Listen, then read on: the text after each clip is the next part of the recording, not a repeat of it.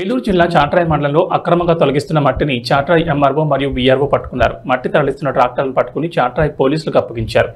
ASI constable వచ్చి ట్రాక్టర్లను station తరలించమని చెప్పారు.